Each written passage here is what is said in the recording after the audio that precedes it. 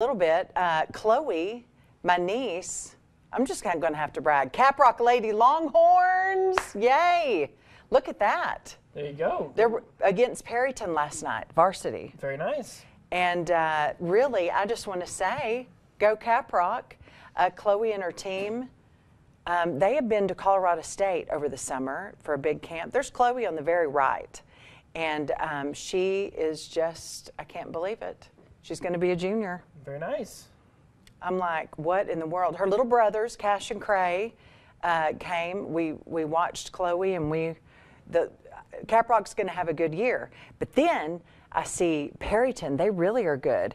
We saw Palo Duro the week before; they're really good. Tascosa played last night. So listen, it's going to be a fun There- volleyball. There's a lot of there's a lot of talent here in the Panhandle. There is. And uh, so, anyway, Chloe, good morning. I'm proud of you. She's going to go to Monahans and uh, play a little bit. And then I think they come back and play Dumas. I don't know what to think when we play Dumas, any teams. I'm like, Where where your loyalties lie. yeah, I love Dumas. But then I'm like, you know, Gus was a Falcon at Bushland and now Chloe. So I don't know. It's hard. You Do you feel like that?